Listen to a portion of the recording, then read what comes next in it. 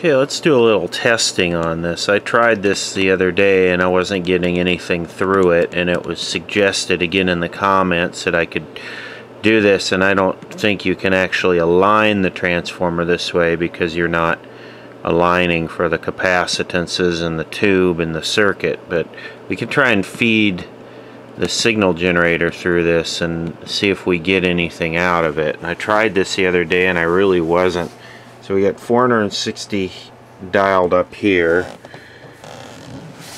And we're not going through the transformer. And this is 1 volt per division, so, or no, 2 volts per division, so we're about 4 volts.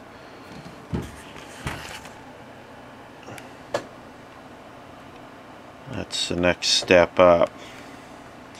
So we'll connect and go through the transformer. Now I'm actually going through the transformer. I haven't touched anything on the signal generator. And I haven't touched anything and basically nothing.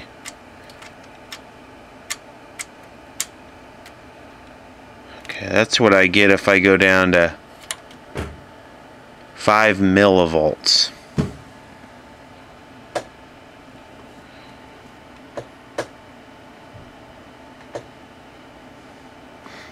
So driving 4 volts into the transformer, what's this weird shape? I'm getting uh, 5, 10, 15, 20 millivolts out with 4 volts in.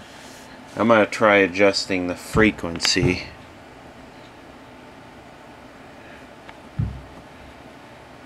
It's going down in frequency, so it's I'm going to try tuning the the capacitors now.